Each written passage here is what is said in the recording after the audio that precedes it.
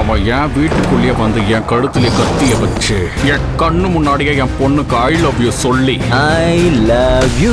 கட்டாயப்படுத்தி என் கையெழுத்து போட வச்சுட்டான் என் பொண்ணோட காதல் அவனோட வருங்கால சாவு பார்க்கலாம் பார்க்கலாம்டா ஆல் தி பெஸ்ட் படி மாண்புமிகு மருமகன் இன்று மதியம் இரண்டு மணிக்கு